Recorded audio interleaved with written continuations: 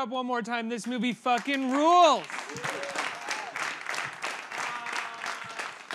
I got to see this at Sundance. I got to see this with an audience of people who were freaking out while they were watching it in the best way possible. I'm sure you get a lot of people telling you that they couldn't watch it or this or that. The audience that I saw it with was loving it. This film is sexy, it's funny, it's it's beautifully made, and it's also shocking in the best way possible. So let's let's talk about where this how this started for you. What was the sort of germ of the idea that how it how did it start? uh, it's not a, the thing is that I can't say a lot in front of you guys because I don't want to make any spoilers. So you're gonna have to apologize if I just try to sneak around this question because otherwise you won't go see the movie because you will know everything about it already. Um, so. Um, the first thing is that it's, there, it's not like it didn't start from an image or something. It started from a conversation that I had with my producer, Jean Desforêts, um, he was not my producer at the time, but we were friends already, and uh, we were thinking about um, cannibal movies that we've seen and liked. And I told him it's interesting because in cannibal movies, most of the time cannibals are referred as they, and they are filmed as they. The direction goes like they are you know, put uh, aside in the movie like they're a horde, a horde or something, or a group of people that is menacing um, the, the, heroes. And uh, I thought it's funny because me, when I hear they, or when I see they in the direction, I'm think, thinking about like creatures from outer space, or a horde of zombies, or anything that uh, does not exist, you know. And I, I told Jean, it's strange because that we treat cannibals this way in cannibal movies because cannibals are real people and they do exist. It's not something that we fantasize about, that we imagined and stuff that we created. It, they do exist. Cannibal movies come from some real things, you know, some real facts.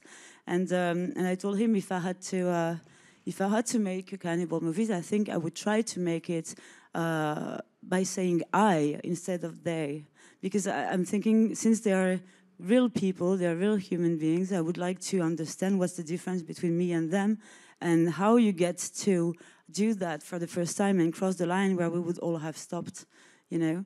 And I think it's interesting to um, to uh, to see that this, the way we portray them as they is kind of a repression of, uh, of this part of humanity that is incredibly repulsive and dark.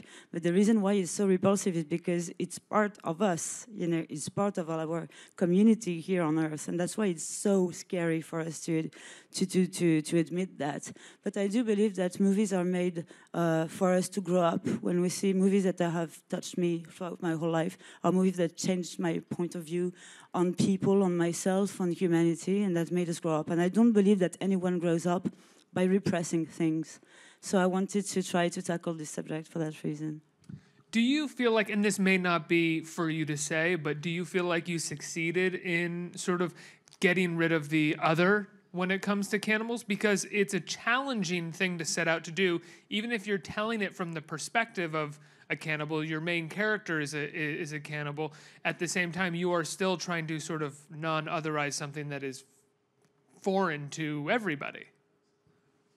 What do you mean when you mean others? I didn't get your question, I think. Well, you said that you want you didn't want it to be they, you yeah. wanted it to be I. Mm. But even if your main character is the one that's a cannibal, mm. I'd imagine it's still hard to make it mm. not they for the audience. Of course. Well, the first thing is that she's in all the shots. So I mean, we are always always with her. She's the main character of the movie. Um, but indeed, the main challenge when I was writing the movie was to build up the empathy on her in spite of the repulsive act that she was going to commit. So uh, it was a big, you know, it's it, it was a big build-up. It was a big strategy. I had to build up the emphasis since the beginning of the movie, and that's why, as you've seen maybe a little bit in the trailer, uh, the triggering context is hazing in a, in, in a vet school. And uh, I thought that by building up this establishment that is anonymous and cruel and misogynist and, you know, very um, violent as well, well, I, I thought that instinctively the audience would root for her, you know, because no one wants to be on their side. So since the beginning, we would be with her and we would feel for her. We would be scared for her that she goes through this uh, violence uh, right away when she gets to school. So that's one of the of the strategies that I use. I also think the use of hazing and the cruelty of the mobs at the beginning of the film illustrate this idea that you know, we are literally and me- metaphorically sort of feeding off of each other. We all have a desire to, and in certain ways, feed off each other. Hers much more literally, but still, we it, it seemed like a juxtaposition to me. Did you intend that? Of course, of course, there is a big parallel. I mean, when we're talking, I was talking about the cannibalism of my character, but that is um, that reveals also many types of the, of, um, of cannibalism, of interpersonal uh, devouring, if you wish,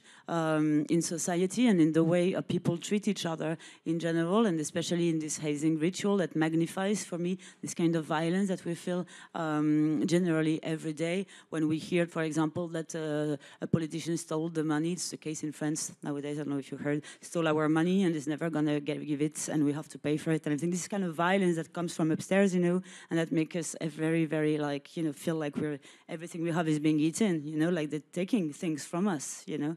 And so I think that, of course, this metaphorical aspect and political aspect exists uh, very strongly in my movie. And it exists also at the level of love, of a too much of love, of a, of a love that is uh, also devouring and uh, and where we consume each other. Um, there are many, many different ways that I try to tackle the subject of cannibalism.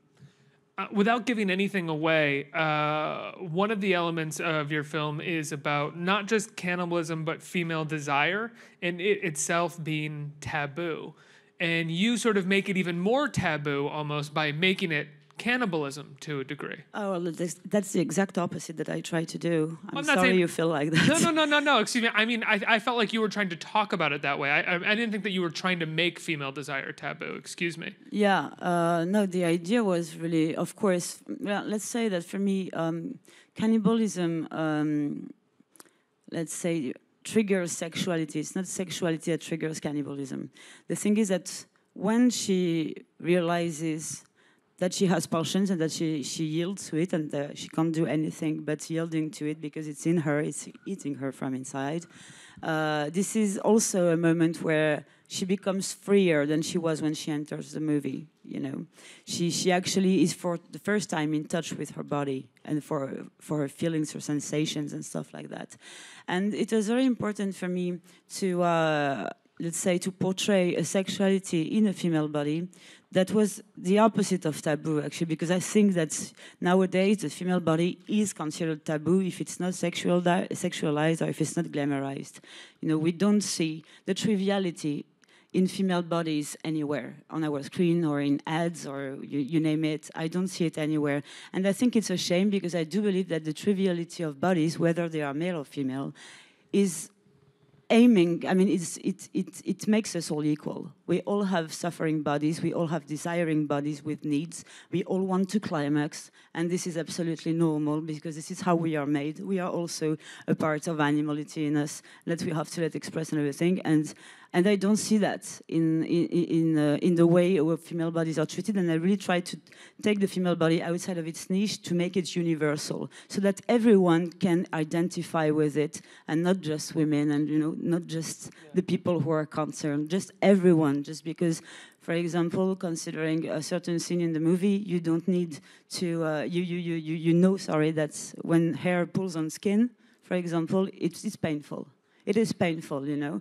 And I decided to um, really try to film the body in a very intimate way, in a very close way, in a very relatable way, so that this the experience that she um, undergoes as a, a female post-teenager can talk to even a man who's 50 and can identify with it, with her pain and with her needs.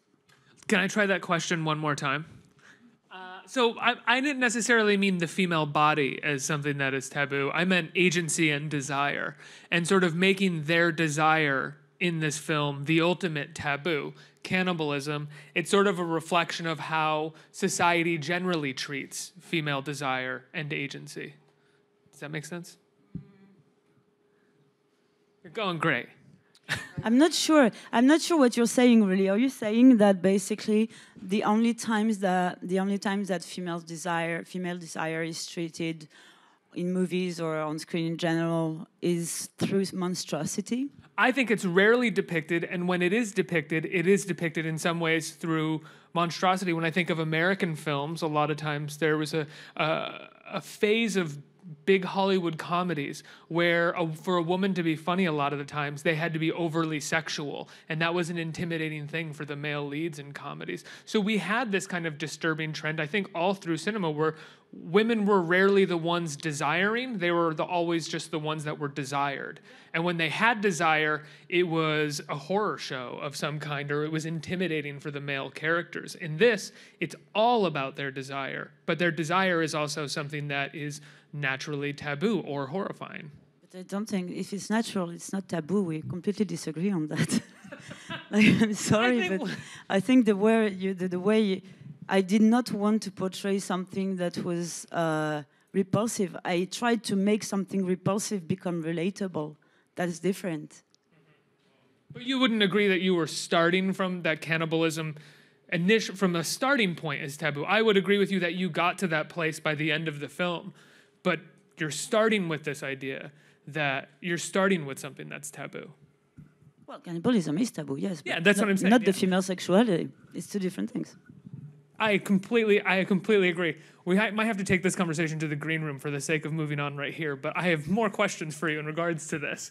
Uh, talk to me about sort of your your your filmmaking influences because it's it's beautifully rendered. And as I told you before, there's this wonderful shot at the beginning of the film that is all one shot. It's through this party, incredibly well choreographed.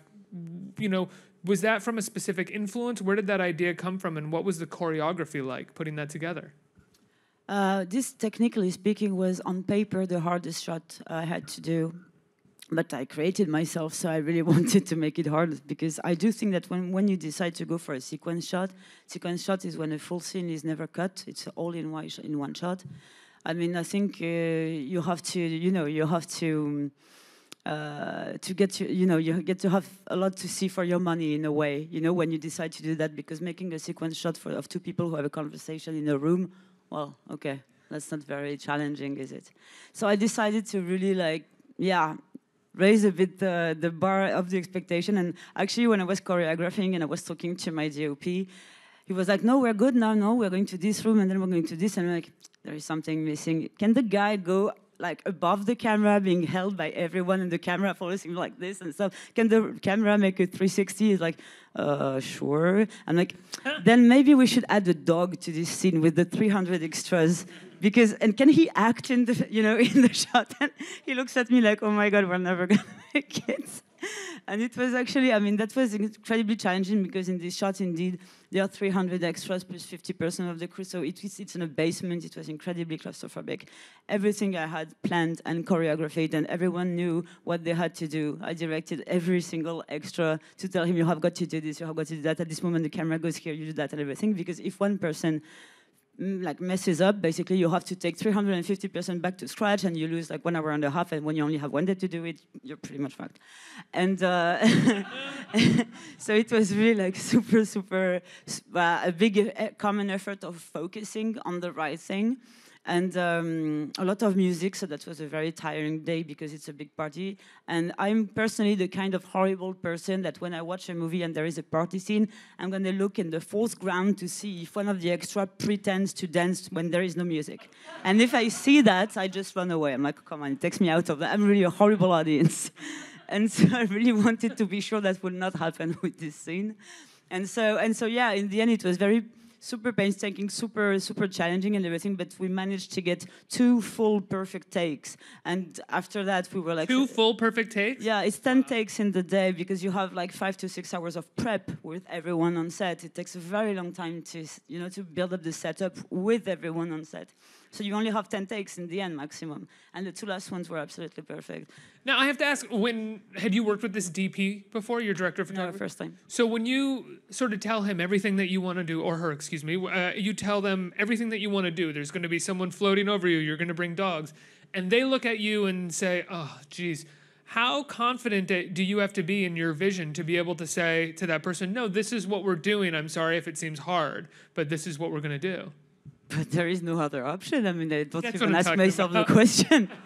well, I just know lots of people. I, I, I, you know, I've made stuff, and I've seen other people have made stuff who, when the crew tells them that that's going to be hard or we can't do that, they immediately, because it's their first movie, or you know, the crew's been doing this many times before them, are like, oh, well, maybe I should change this because of that. It takes a lot of guts to be able to sort of stick to stick to it. Yeah, but I think you also have, you know, to take people on board. You have to get people excited. You know, directing it's also 75% of psychology on your crew. So you really have to take when you have very hard stuff to do. For example, when you have a full um, a full night when uh, it's outside and it's minus 10 degrees Celsius. Sorry for the Fahrenheit, I don't know them. And, uh, and it's super cold and super tiring. You have to keep your, your, your, your crew alive and want, you know, to make them want to be there because it's really, so it's a lot about that. And so my, I, I was lucky enough because my DOP was super uh, ambitious as well. And uh, he really liked the challenge. And uh, when at the beginning we actually had started cutting the sequence, and all of a sudden I tell him, no, no, no, we have got to do this sequence, sequence shot. We have to do it one shot. And he actually got excited with it and everything. So it's not like we all have doubts, of course, but when there is excitement and when there is, you know, you can just seriously achieve anything. It's really just a matter of believing in your shot. Can we talk about uh, the humor in the film? Because I feel like we we're talking very seriously about the movie, and it is a serious movie, but it's also very funny. You're a very funny filmmaker, and I'm curious, you know, how you knew how much humor to put in, when you knew, and what was it like straddling that line? Well, the thing is that my movie is not a horror movie. I'm a crazy horror buff, so I can tell you it's not a horror movie because I did not write a horror movie. For me, when, to, when I want to see a horror movie, I want to be frightened. I want to jump off my seat. I want to yell in the theater, go berserk, and, and, and I really not sleep for at least a week. That's what I accept from a good horror movie. What's what would you what would you off the top of your head? What would you say is a movie that does that for you? Last time it did this to me. If you're gonna say it's super like uh, cheesy, but it's a. last time I really really yelled like in a roller coaster when I was The Conjuring 2. I was like for two hours like ah, like this. Everyone was looking at me. For what movie? The Conjuring 2. Fair enough. There's there's there's a lot of really good scares in The Conjuring too. Yes, it's about an hour and forty minutes too long. hour- but- yeah, yeah, yeah, but still, you know, no, uh, still, seriously, me for two hours, I was telling my friend, I'm not gonna stay, I'm not gonna stay. I was really on the verge of having a heart attack. He's a pretty filmmaker too. The movies look pretty. His, No, but his- James Wan is a very good director. He really knows where to put his camera. He has crazy, crazy shot ideas. The thing with the nun and the shadow. This is just wonderfully beautiful. This is like German surrealism from the 30s. It's gorgeous. No, no, Completely very agree. good director. Anyways, to go back to our business. so why am I funny? Uh, tell us a joke. No. No, how did you how you know how did you know when when to be funny and when not to be? I was because getting there are moments where it's. I mean, there were moments. The audience that I was with and myself were rolling on the floor laughing. It was so good. Specifically, the the the, the wax scene. It's just is so no fun. spoiler, no spoiler, no spoiler. I don't think that's spoiled much. We're talking about wax that's figurines. spoiler. You don't know. Um, yeah, so I was getting there indeed, I remember. So that's not a horror movie. It is a crossover between comedy, drama, and body horror, which is already a subgenre in the genre, but that's, that's what it is. And um, why do I make crossover? I love crossovers because I love when, as an audience, I love going through many, many different emotions when I watch a movie, and I love watching a movie not knowing what is it that I'm watching, being like, what the hell is going on? What is it? What am I watching? Is it a thriller? Is it a drama? Is it a comedy? What a, like, for example, I don't know if you've seen Ben Wheatley's Kill List, but I really felt like this when I watched it. And that's really what I want to convey. And for me, the eruption of genre in the narration cannot, cannot go without laughter because laughter really favorizes the genre and catharsizes it. For the catharsis, uh, for example, if you put a comedic scene after a traumatic scene, then you're going to be like, I need this relief. I want to breathe a little bit because it was too much, and you can use comedy like that. If you put it before, then you can put your audience at ease, like, ah, it's a nice scene, I'm like super comfortable and everything, and then bam. And then you can create like, whoa, what's this sensation? And like all of a sudden you get the surprise, you get the drama. So that's that's why I think they go very well together. And I do think that laughter does not go without drama, because drama gives depth and perspective to laughter. You know, it gives substance to it. Um, and it's character. Character gives out. Yeah, character. Sorry, go ahead. Never mind. drama, yeah, like darkness, like some, yeah, like the tears. Tears, if you wish, give depth to laughter, and vice versa, actually. And anyway, so I do think that these three, uh, these three elements for me are really not separate. um, Uh, we can't separate it. Uh, I mean, in my head, and this is exactly how I see. Um, how I see life, and this is how I am in life, and that's why there is a lot of dark humor in the movie. I have a lot. I mean, I'm always very sarcastic and stuff like that. I have. I'm, I, I, I, do very dark humor jokes all the time. Is, so for me, it's very natural to to use it in my dialogues. And the second thing is that I do believe very strongly that when you laugh with a character at the beginning of a movie, not at but with, it really creates a bond between you and the character that lasts for the whole movie. Because it's really like it's a, it's a complicity. Like he becomes an accomplice and you're an accomplice with that person. So uh, it's very important for me in my strategy of building up the empathy of my character to make us laugh with her at the beginning, at her awkwardness and the fact that she's aware of it and stuff like that with her body and stuff, and also with the dialogues, of course. So that was also um, a part of this to build up the, the empathy of the character. You used the phrase uh, body horror just a, just a minute ago. Um, Cronenberg is obviously the sort of reigning king of, of body horror, uh, I would say, and ha- definitely has a, a, bit of an influence on this film. Just I've, I heard you talk about a little bit about him at Sundance when I saw the film. I'm curious just for my own sense of curiosity, who else would you consider body horror? He's the reigning king, but who else does body horror? I agree with you. I totally agree with you. He's like there is almost no no one yeah. in the body horror business. I mean, it's not that must not pay very well. In the '80s, uh, in the in the '80s, there's like a few films here and there that pop Brain up. Dead. Exactly. Brain Dead is body horror. Brain super funny, by the way. I mean, if you like this kind of funny, but I find it super Wait, which funny. not the Peter Jackson Brain Dead, the Brain. No, or, no, I'm talking about the Peter Jackson. Oh yeah. Brain Dead. You didn't find it funny. Of course, it's funny. It's the best. It's so funny. Your mother ate my dog. It's like the best movie. exactly, and that's body horror. One, oh, yeah, really 101. And but you're right. There are not a lot if I think of it. I mean let me, let me, let me. Yeah, not so much. I've seen the Greasy Strangler recently. Is it oh, yeah. is it possible to say that somehow there is some kind of body horror in it? Yes. It's all about the body and it's super disgusting. But super funny. It's a comedy. You should see it. It's completely wacko, yeah. and uh, yeah. a few, yeah. There's a few disparate sort of '80s horror movies here and there that I can remember that are kind of body horror, but they're a little over the top. But uh, yeah, there's very few, very few are made. He's really the reigning king at this point. I agree with you. Um, let's uh, take some questions right here. Hey, Julie. Hi. Um, I was wondering what the casting process was like. Uh, what were you looking for in your uh, the lead character at least, and did they know what they were getting into, uh, how graphic or what the content of the movie was going to be like? Well, when, when it comes to um, once I had done the casting, and I will go back to the beginning of your your question af uh, afterwards. Uh, yes, of course they knew what they were getting into. I mean, I'm really you have to be super clear with your with your actors, especially when some scenes are incredibly physical and some scenes are naked and stuff like that. You have got to to tell them very early on what they yeah what's the train they're boarding on, you know, and and uh, fortunately enough, the three of them. Um, really found uh, something to defend in that movie personally and you know in their vision of life of the world and everything. They found some depth in it that is indeed it's not a shocker. It's not a torture porn.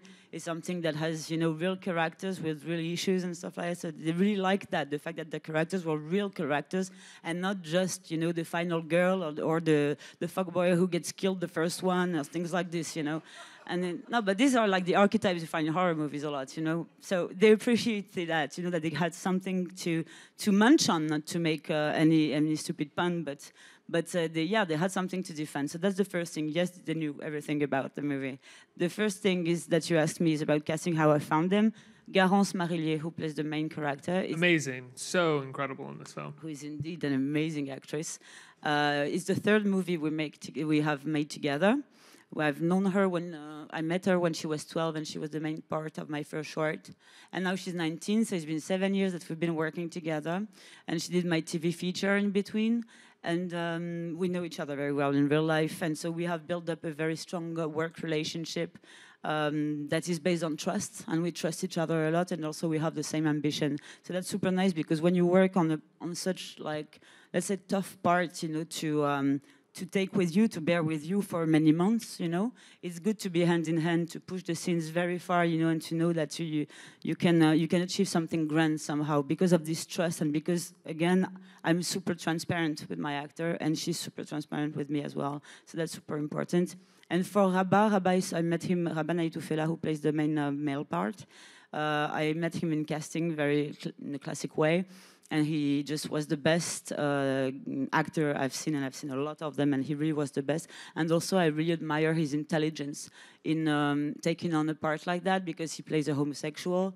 And uh, originally was a rapper, and he really was like super happy to be playing someone who's not him, who's not a dealer, who's not, you know, these kind of archetypes that are um, that uh, unfortunately are the case uh, a lot in you know in France. That you take people for archetypes they represent. He was happy to fight the archetypes and to uh, embrace a role that was far from him and that he could defend. So I really admire this kind of intelligence and risk-taking in actors.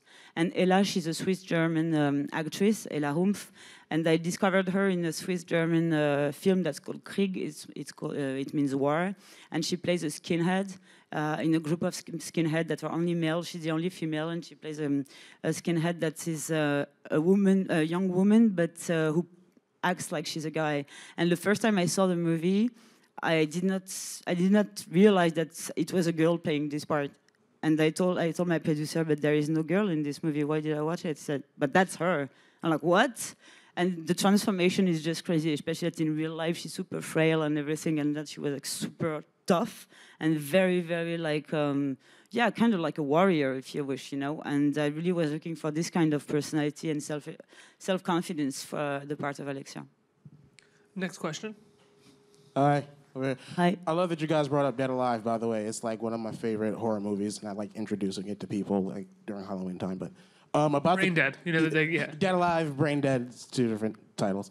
Um, about the trailer, it's really captivating and it's really intense. And I think what drew me to it the most was the score and the choice to have no dialogue in the trailer. It, I was wondering if you were responsible, had any involvement in packaging the trailer, and what was your choice to not have any dialogue feature in the trailer? Well, I didn't. I did not uh, edit the trailer. Uh, the people from Focus World did, and they did a very great job indeed. However, they sent me, uh, if you want, uh, different tryouts, and I told them what I wanted. You know, um, what was my preference and what I wish I wanted, what kind of uh, atmosphere I wanted to convey, what kind of feelings I wanted to convey, and stuff like that we pretty much all agreed on the fact that there should be no dialogues in it. And they found the music that is amazing. That's not in the movie, but it's amazing. Why? Because in my movie, the score and the pre existing music are super important. There is a lot of music in my movie, and it has a lot of importance to me. And it's kind of rock and roll. There is also a hip hop song in the movie. And I think that the music they found, that I don't know who, by the way, Shauna could tell us later, but uh, who, who did this song, but it, I think it really, really. Um, conveys the spirit of the movie that is at the same time dark but super energetic. I think we have time for one more question right here. Hi. So my friend and I, we both go to NYU. We're grad students in cinema studies right across the street. Congrats. And we went to see the film at Film Society of Lincoln Center on Tuesday. And there was a woman after at the Q&A that just interrupted you and said, but why did you make this movie? You're just droning on and on. She was really provoked by the film. And I wanted to know how do you make a film with all these shocking images and there's really grotesque stuff, but you don't just make it provocative for its own sake. You talked about that you didn't want to make a film that was just shocking or provocative just for its own sake. How do you make it connected to the characters and to the themes that you're talking about? Well, the first thing is that I really hate grat- gratuitous violence because it's really not because it shocks me, it's just that it has no effect on me at one point. You know, after five minutes, I kind of have the feeling that I've seen it all, and then I don't care about the characters anymore. If it's just to see people being killed and bloodbath, I'm like, eh, you know, it doesn't make me want to follow the story at all. I really need characters. Originally, I'm really only a screenwriter, and I, I came to directing when I was in film school. So, but for me, the first thing is the story. The first thing is the story and the characters. So, in order, if you want to not um, to not be uh, uh, provocative for nothing or shocking for nothing, you really have to balance in your head what you have to show and what you don't need to show. And um, for example, I ask myself a lot because, of course, when you tackle a certain imagery, you kind of like have doubts sometimes. Like, uh, am I in the right? Is it the right note for my movie? Am I going too far? And I'm thinking, yeah, if I have to show cannibals, it's a movie about cannibalism. I have to show cannibals. Otherwise, why would I have chosen this particular subject if I don't show it? I could not avoid my topic. My topic.